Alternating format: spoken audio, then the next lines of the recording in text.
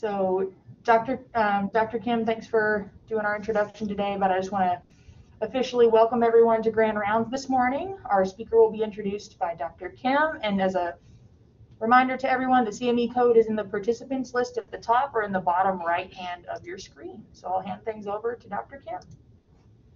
Great, thanks, Julia. So good morning, everybody. Uh, yeah, I've had the good fortune and privilege of being uh, the interim division chief for GI for the past uh, couple of years or so, and I've gotten to know Maria Khan and Susan Wilson very well. So we're excited to hear about uh, from both of them about inflammatory bowel disease and updates. Uh, as some of you may know, Susan Wilson is part of our team uh, as a registered dietitian. She's a president. She is the president of the Kentucky Academy of Nutrition and Dietetics, and actually she's the uh, past recipient of the Dietitian of the Year award for 2020 for the state of Kentucky, as rec as recognized nationally. Dr. Khan, as many of you know, did her pediatric residency here. Uh, before she went on to do her pediatric gastroenterology fellowship at Nation, Nationwide Children's in Columbus, and she is the recent recipient of an ImproveCareNow award focused on inflammatory bowel disease, which she's going to talk about uh, as part of this presentation. Thank you. Good morning, everybody. Susan and I are very excited to share these updates in the care of pediatric inflammatory bowel disease. So the objectives of our talk this morning is to briefly go over what is inflammatory bowel disease, the histopathologic features, etiopathogenesis, and incidence and prevalence in the pediatric population. We'll also be discussing the different therapeutic options and what is the ImproveCareNow network. So inflammatory bowel diseases, or IBD, are chronic relapsing and remitting conditions of the intestine that include Crohn's disease, ulcerative colitis, and indeterminate colitis. It can present with several different symptoms such as abdominal pain, bloody stools, diarrhea, weight loss, growth problems, and fatigue. Crohn's disease affects any part of the GI tract, leading to inflammation involving all layers of the intestinal wall, while ulcerative colitis involves the rectum and colon, leading to inflammation and ulceration of the intestinal lining. IBD is caused by a multifactorial effect from a patient that is genetically predisposed to an overactive innate immune system or defective host immunoregulation. Other factors that also play a role in IBD are environmental triggers such as diet and stress, as well as the microbes in the GI tract. So the epidemiology of IBD, um, the prevalence of IBD is about 100 to 100,000, and incidence is 8 to 15 per 100,000. There's a bimodal distribution between 20 to 40 years and 60 to 80 years, and it is greater in westernized countries. Wilks first introduced ulcerative colitis in 1875, and regional ileitis was published in JAMA by Crohn in 1932. Since the middle of the 20th century, incidence of IBD has increased in the Western world, and at the turn of the 21st century, the overall incidence of IBD plateaued in certain regions of the Western world However, pediatric onset IBD continue to show a rise in incidence. And the overall incidence is increasing worldwide with a steep rise in newly industrialized countries and in adolescents in industrialized countries. The incidence of IBD may have stabilized among adults in North America, but it has continued to rise in children with the highest percentage increase observed among children under five years of age, which is called very early onset IBD. This rising incidence has caused the pediatric prevalence of IBD to increase by 133% in the last decade, in the US reaching 77 per 100,000 children in 2016. Compared to adults, children with IBD present with more severe, aggressive, and progressive phenotype with unique complications, specifically growth failure and delayed puberty. Treatment of pediatric IBD has unique challenges such as limited therapeutic options with considerably fewer treatments approved by the FDA. This poses significant limitations for the pediatric gastroenterologist. Within the past two decades, the advent of anti-tumor necrosis factor agents has radically modified the management and disease course of IBD in both adults and children, resulting in greater remission and mucosal healing rates, fewer surgeries and hospitalizations, improved quality of life, and notably for children, correction of growth and failure. Given the progressive and aggressive nature of this disease, especially in the pediatric population, we know we need to make appropriate intervention and control the disease early in its course, making traditional step-up therapy concept more outdated. And the new standard of treatment are personalized therapy, mucosal healing, and sustained remission. So step-up therapy was considered standard therapy for remission and maintenance with first starting with anti-inflammatory drugs and escalating to biologic therapy while the top-down therapy was early aggressive use of biologics at initial diagnosis. Mucosal healing is associated with better outcomes, providing the foundational evidence for achieving deep remission as the ultimate target in IBD. There's greater likelihood of achieving mucosal healing at one year with the use of anti-TNF alpha agents as first-line therapy in luminal Crohn's disease. These findings support the top-down therapeutic approach in achieving deep remission in pediatric Crohn's disease. Linear growth failure is a frequent complication of Crohn's disease in prepubescent children, which is an important therapeutic target that must be achieved early in the disease so that irreversible sequelae can be mitigated. So infliximab is a chimeric monoclonal antibody against TNF-alpha that's given intravenously Dosing is either 5 milligrams per kilogram or 10 milligrams per kilogram. And there is induction dosing, and then there's maintenance, typically every eight weeks. Adalimumab is a recombinant human monoclonal antibody against TNF-alpha that's given subcutaneously. There's weight-based dosing for both ulcerative colitis and Crohn's disease for induction and maintenance therapy. In children and adolescents, the anti-TNF-alpha agents infliximab and adalimumab are currently the only biologics approved by the FDA for treatment of pediatric IBD. Infliximab was approved for Crohn's disease in 2006 and ulcerative colitis in 2011, and adalimumab was approved for Crohn's disease in 2012 and most recent for ulcerative colitis just in 2021. So the history of anti-TNF therapy are based on these trials that we'll be briefly reviewing that looked at specifically the pediatric population, which then led to their FDA approval. REACH was a landmark trial showing efficacy of infliximab in pediatric Crohn's disease. It was a multi-center, randomized, open-label study of infliximab in pediatric patients with moderately to severely active Crohn's disease. In the REACH study, the efficacy of a three-dose induction regimen of infliximab in reducing signs and symptoms of Crohn's disease in children was evaluated. They also compared the efficacy and safety through 54 weeks of maintenance therapy given every eight weeks or given every 12 weeks. And they found that the pediatric patients responding to an induction regimen of infliximab were more likely to be in clinical response and remission at week 54 where their maintenance therapy was given every eight rather than every 12. It showed that infliximab is effective in treatment of moderately to severely active Crohn's disease in children. The Imagine 1 study evaluated the safety and efficacy of adalimumab double-blind maintenance dosing regimens following open-label induction for pediatric patients with moderate to severe Crohn's disease. This trial represented the largest double-blind study conducted at the time with an anti-TNF agent in children with Crohn's disease. It included infliximab naive patients as well as those who failed infliximab.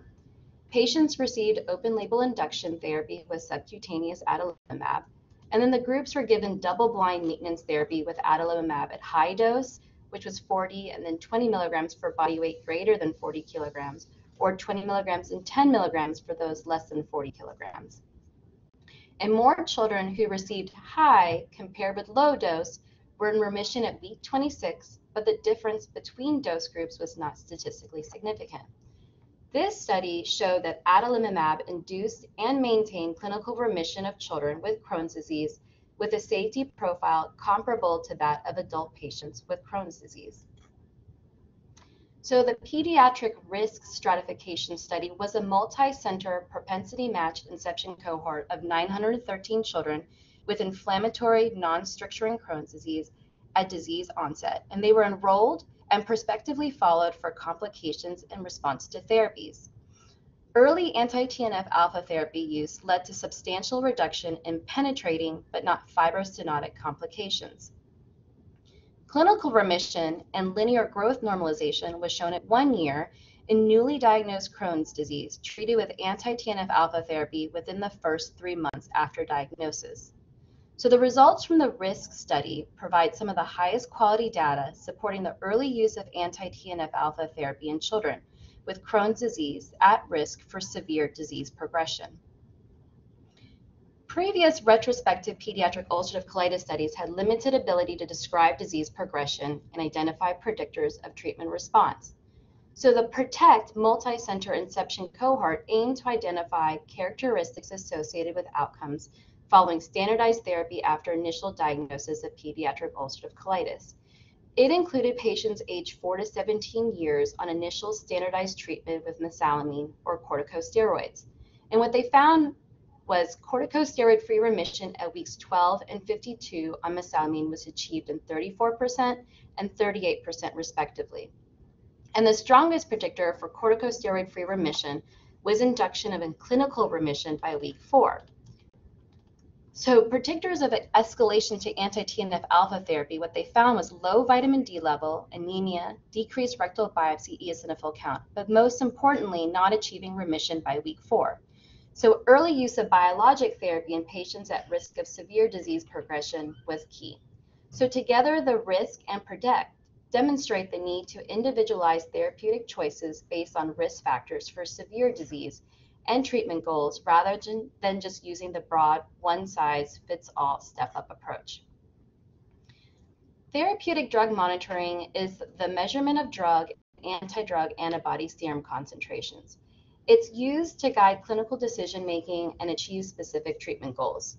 Lower drug levels have been associated with drug antibody formation and greater likelihood of loss of response.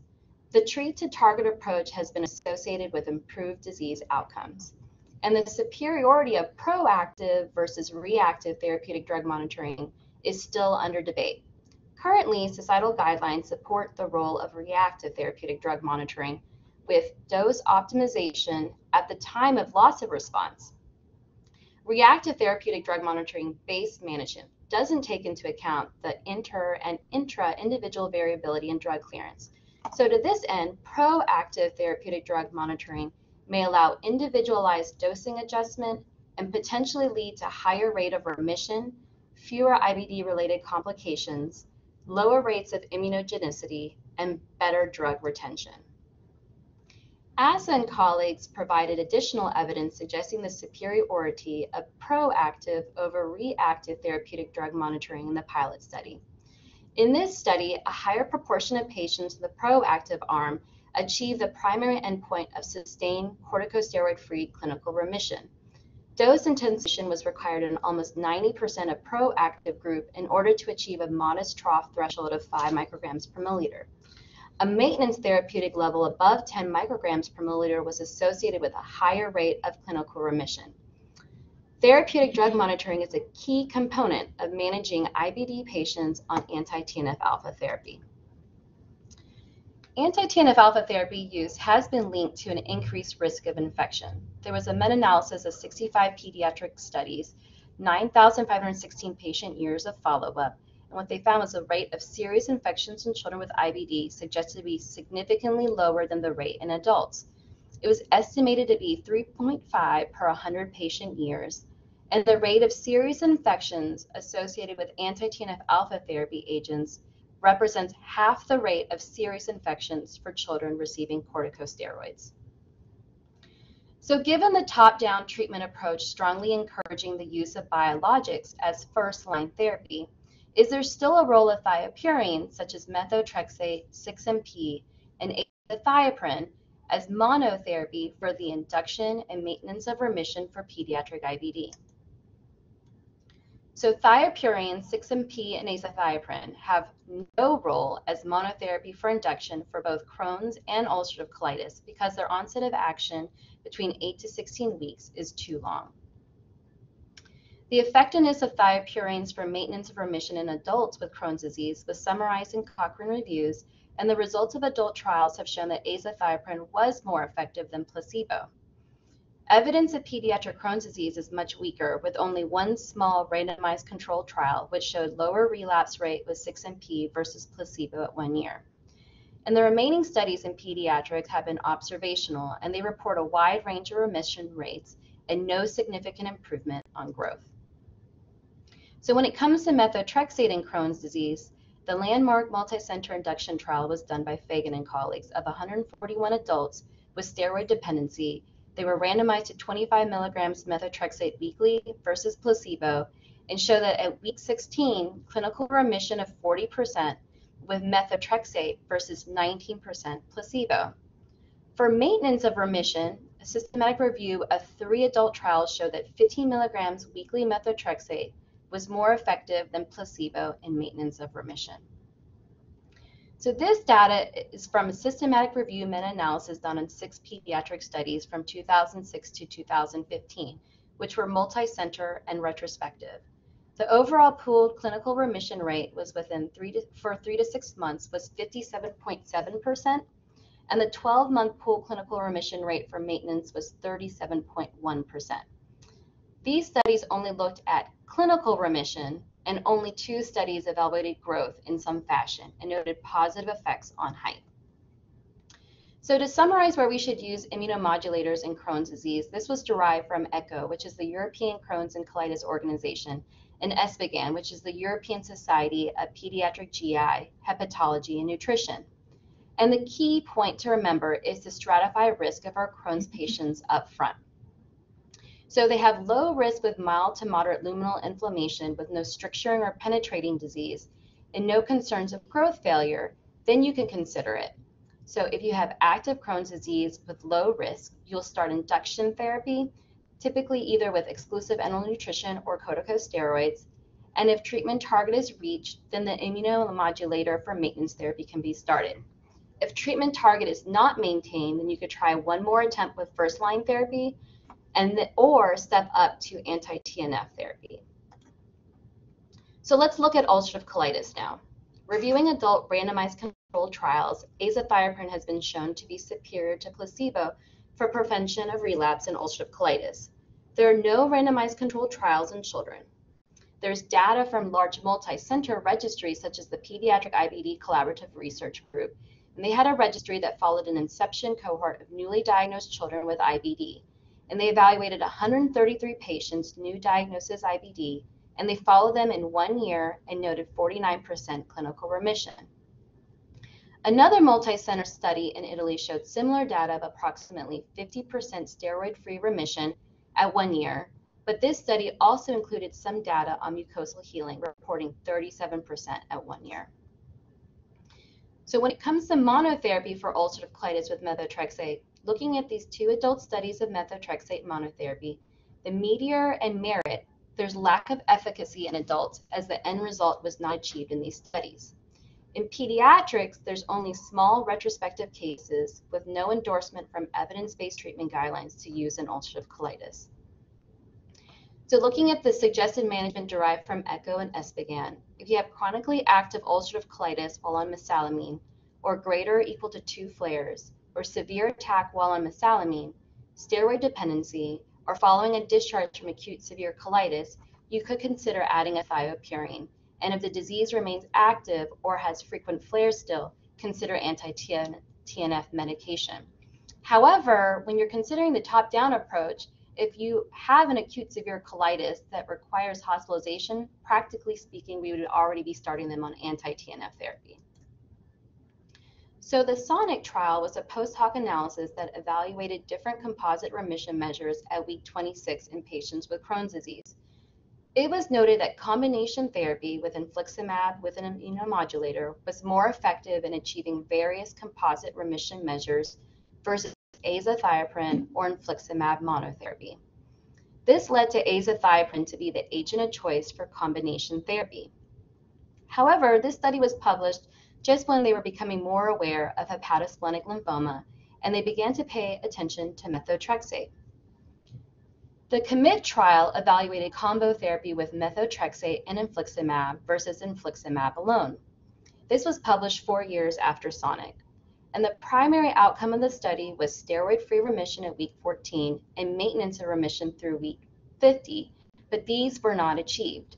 However, what they found was that combo therapy was less likely to develop antibodies and they noted higher trough drug concentrations. So for pediatric data regarding combo therapy, I wanted to show this figure from the study of the PEDS IBD research group. This study looked at immunomodulator use with infliximab. They took 502 children and divided them into groups with no combo therapy, less than six months, and greater than six months. In children with Crohn's disease, concomitant treatment with an immunomodulator for more than six months after starting infliximab therapy increases the chances that patients will remain on infliximab. In boys, methotrexate appears to increase the durability of infliximab therapy compared with thiopurines. In the pediatric IBD, the use of combination therapy may be appropriate in children who exhibit a higher risk of disease complication children with immunogenic loss of response to previous anti-TNF alpha therapy, or children who may benefit from the synergistic effect between the two agents. We know that with children, the concept of risk is at the forefront of families and providers, and there are many years of disease burden when they are diagnosed. So you have to consider the short and long-term risks are they, they're important to consider. So I'll focus on the big risk of malignancy, even though absolute risk is low. This is always the parent biggest concern. So looking at the pediatric data from the DEVELOP registry, it was created to look at long-term safety and clinical outcomes in children receiving infliximab and other medications. 5,700 children were studied, and there were 15 children identified with malignancy. 13 out of the 15 were exposed to thiopurines. When compared to reference database, patients exposed to 6-MP and azathioprine had significant increased risk of malignancy from primary lymphomas. And similar to adult data, discontinuation of thiopurines for more than a year reduces malignancy risk. So although not a true malignancy, five out of the five patients who developed hemophagocytic lymphohistiocytosis were exposed to thiopurines. So some takeaways for immunomodulator therapy. Methotrexate does have a role for induction and maintenance of remission in mild moderate luminal Crohn's disease.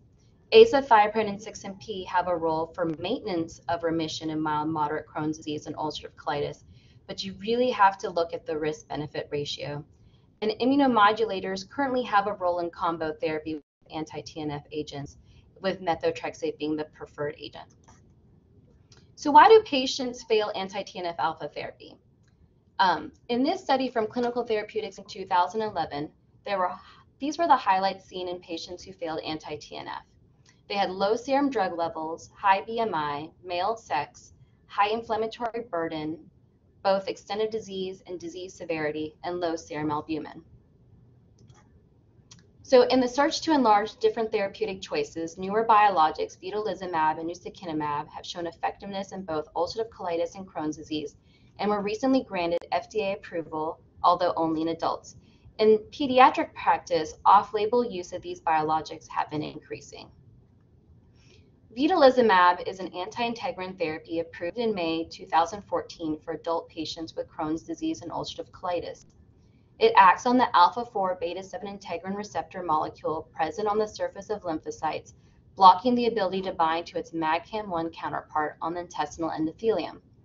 This interaction inhibits lymphocyte migration to inflamed gastrointestinal tissue. And to note, vedolizumab has gut specificity. Gemini was a landmark adult trial which confirmed efficacy and safety in treating patients with ulcerative colitis and Crohn's disease and induction of mucosal healing, but the pediatric evidence is still limited. Using an adaptive dosing of 5 milligrams per kilogram up to 300 milligrams, combined pediatric studies have reported week 14 and 22 clinical remission rates to be 37% to 76%, and 34% to 71%, respectively. Similar to what's seen in adult cohorts, remission rates have been numerically higher in ulcerative colitis as compared to Crohn's disease and in anti-TNF alpha naive children, compared to those to patients with prior exposure. Vedolizumab is shown to induce mucosal healing endoscopically and histologically at a rate of 38%. The favorable risk-benefit profile makes vedolizumab an ideal therapeutic choice for pediatric IBD. It's gut-directed, so we do not see as many black box warnings as of yet. However, an important limitation is that it has a delayed onset of action for which corticosteroid use as bridge therapy is often necessary in a population that's already increased risk of growth failure and bone loss. Ustekinumab, or Stelara, is a therapeutic human IgG1 kappa monoclonal antibody that binds to interleukins 12 and 23, cytokines that modulate lymphocyte function, including T helper 1 and 17 subsets. Ustekinumab demonstrated clinical efficacy in the UNITI trials for induction and maintenance of remission in adult Crohn's disease. Endoscopic healing has also been reported in post hoc analysis of the UNITI trials. And the UNIFI trials are adult trials for ulcerative colitis with emerging data. These are observational cohort studies in children with Crohn's disease refractory to anti-TNF alpha therapies. In Chavannes and colleagues, 44 patients were studied. Long-term outcomes at 12 months noted clinical response at 45% and clinical remission at 40% at week greater than 26.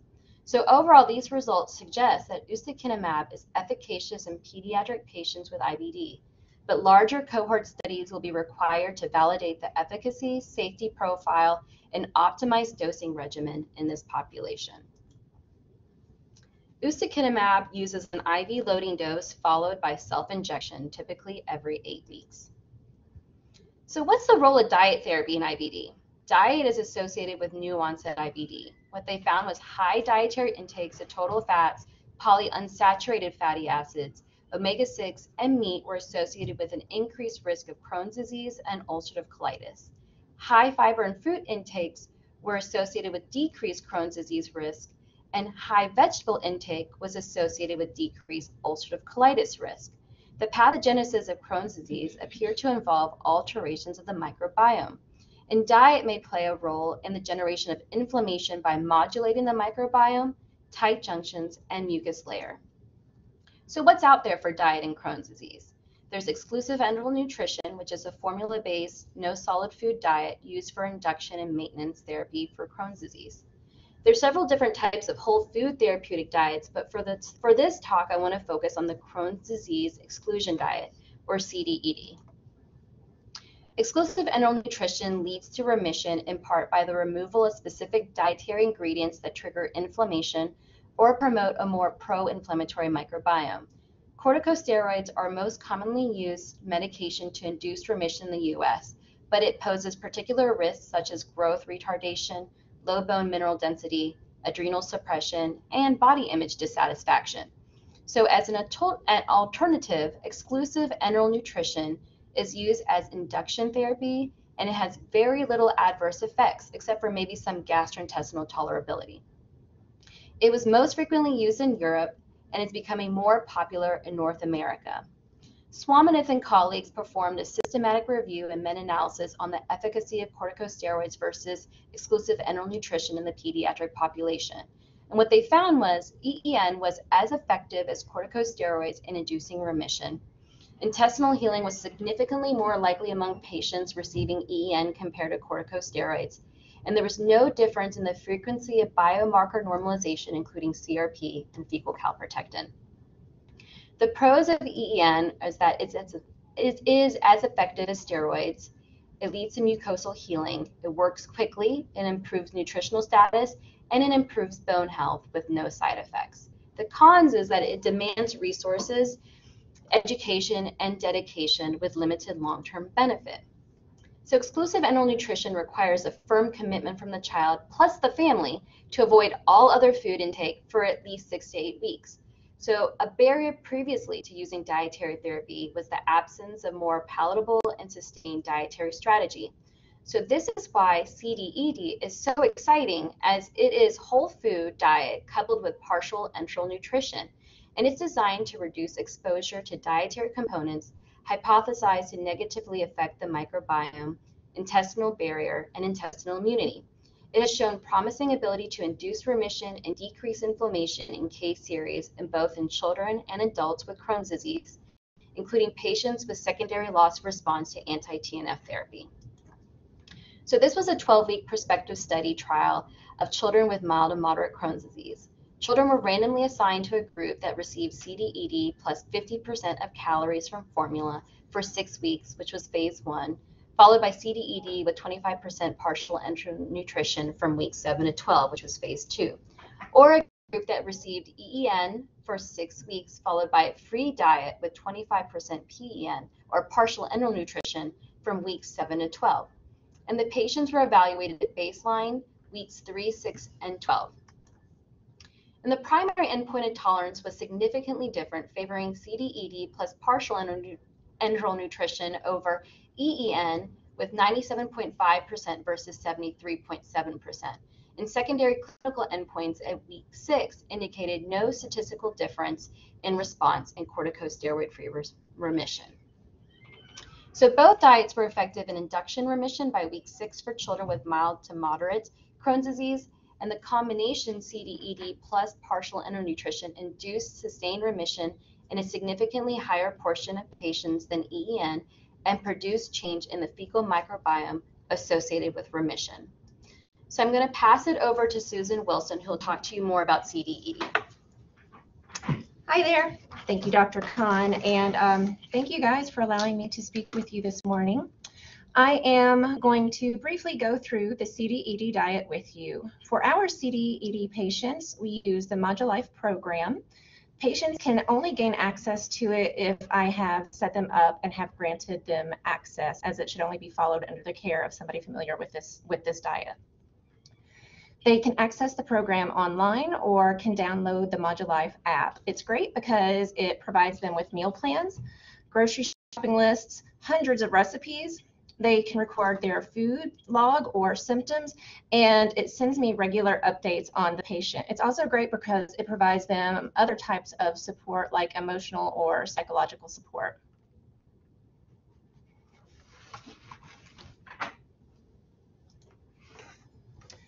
CDED includes three phases, which I'll go over in more detail in the following slides.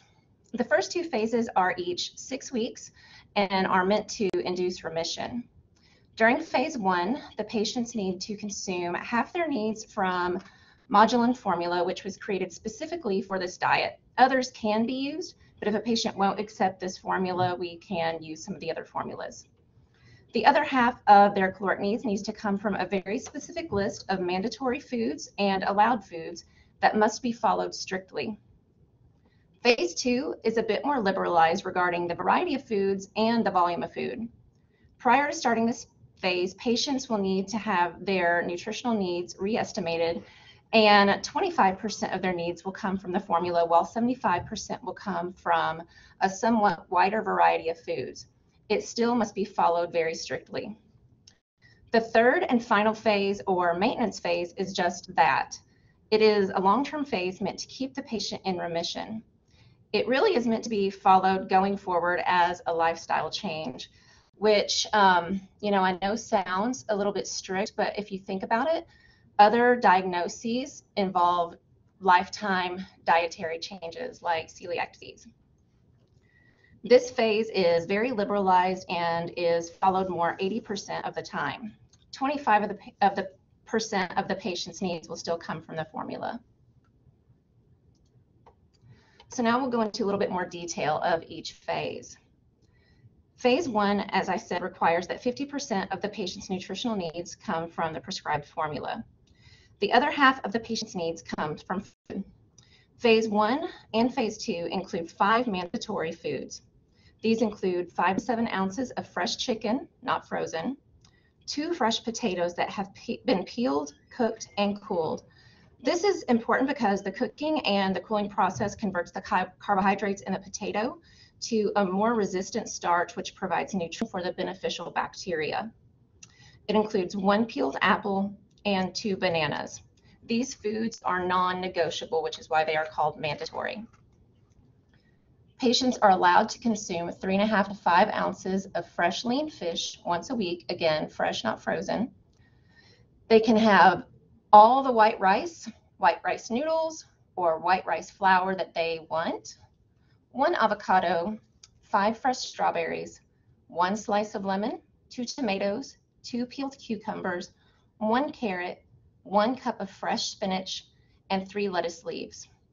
Patients are also allowed freshly squeezed orange juice, herbal teas, sweeteners like honey or table sugar, and condiments like olive oil or canola oil and fresh herbs and spices. Do you notice that fresh is a key word here? There is a disallowed list, but to be quite honest, I tell patients that unless it's on the mandatory or the allowed list, it's not allowed. Phase two offers a wider variety of foods and more volume of food.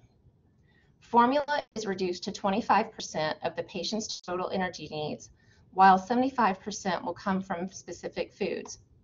Patients still must consume the same mandatory foods as phase one. However, the allowed foods is broadened. During phase two, patients can consume all the allowed foods from phase one, in addition to one can of tuna packed in oil, half a sweet potato per day, one slice of whole grain bread per day, lentils, peas, chickpeas, beans, almonds, walnuts, quinoa, oatmeal, and a wider variety of fruits and vegetables, although still somewhat limited. From weeks 10, however, all fruits and vegetables, except for a very select few, are allowed. The maintenance phase is quite liberalized to promote a more whole, fresh food diet for the majority of the time, while allowing some room for eating out and some processed foods. It's more of an 80 on, 20 off kind of diet. There are still some recommended disallowed foods, but this list is quite small. It includes mostly highly processed foods. Patients should still be consuming around 25% of their needs from Modulen, What's great about the Modulife program, though, is that it has tons of recipes which include the formula as an ingredient, so patients don't necessarily just have to drink it. Um, I'll tell you, I have personally followed the CDED diet to experience firsthand what I will be asking our patients to do. I'll be honest, going into it, I was skeptical because I absolutely love food and I love to eat. The first week was um, was pretty hard because I had to be very conscious all the time of what I could eat. And um, there was a lot of meal prep and planning. However, after the first week, I didn't have to think so much about it. And I started coming up with my own recipes using the manda- mandatory and allowed foods. And it actually became kind of fun when I talk to our patients about this diet, I really do try to focus more on what they can have rather than what they can't, because it truly comes down to how you approach it and how you present it to the patients. Thank you, Susan. And so moving forward, how is our group at Norton Children's trying to improve the quality of care given to our IBD population? So we've recently joined the ImproveCareNow network, and what it is, is a collaborative chronic care network of 90 care centers across the world, and it's a, the largest and fastest growing pediatric IBD registry in the world. It works successfully to improve the quality of care delivered to children with IBD at clinic. So the initial focus of the ImproveCareNow is to build a quality improvement infrastructure at each center, develop and implement the recommendations of the ImproveCareNow model IBD care guideline, measure and report the performance at each center and all centers, identify gaps between the recommended care and what's actually provided, but then implement quality improvement projects to close those gaps. So centers have been applying quality improvement methods to improve initial diagnostic testing and evaluation, standardizing the classification of the severity, phenotype, and extent of the disease, improve the dedication and treatment of poor nutrition and growth, and improve the use of immunomodulators and other biological therapies. And the focus is on increasing the percentage of patients with inactive disease, sustained remission, prevention of relapses, reducing the number of patients receiving corticosteroids, and avoiding adverse effects from therapy.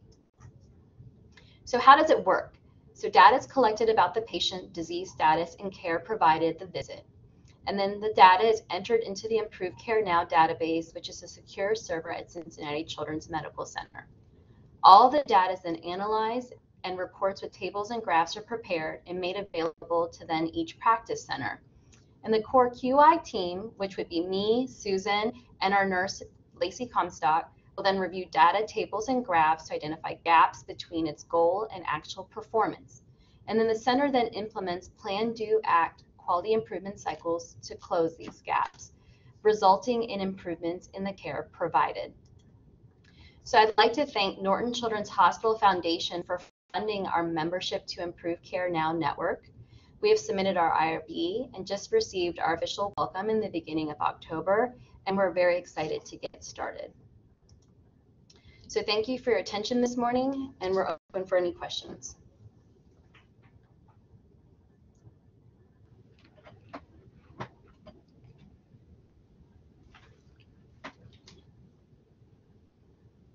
Uh, Thanks, Dr. Khan. Uh, I I do have a question. Uh, The the data that uh, has been established in using uh, IL-12/23 blockade with Stelara, did they break it down into various age groups?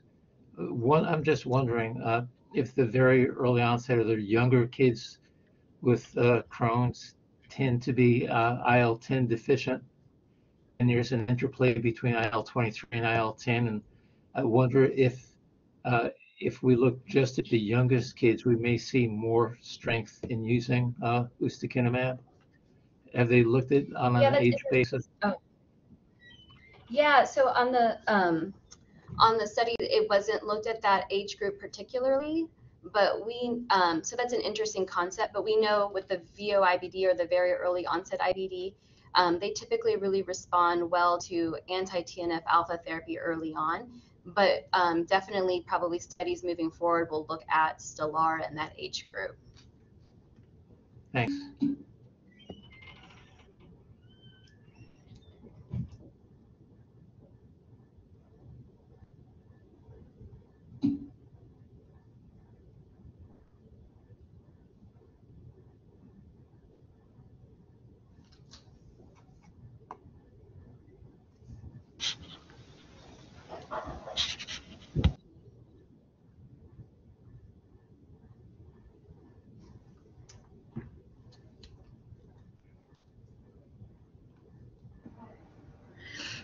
Hey, this is Sarah Moulter. I put this question in the chat, um, but with the CDED diet, fresh foods are often also expensive. How do you assist families who might have limited resources who are trying to follow this diet? Yeah, so that actually is a concern of ours. Um, it, it, it is going to be a very difficult diet for families who have um, some financial barriers. Um, for those families, um, to be quite honest, we can get usually insurance coverage on the formulas for EEN. Um, you know, families who have SNAP money can use those funds to purchase the foods. But no, I agree. I feel like the um, there is going to be a barrier for some of our families for following the CDED. That's that's that's something that um, I don't think has necessarily been addressed because you know we can't get insurance coverage for for real foods and for fresh foods. Um, and the diet does does want to promote more whole fresh foods rather than the processed foods because we know the processed foods contain a lot of um, ingredients like emulsifiers which can harm the intestinal tract and the microbiome um, so for those families for the time being anyway EEN might be a more financially cost effective option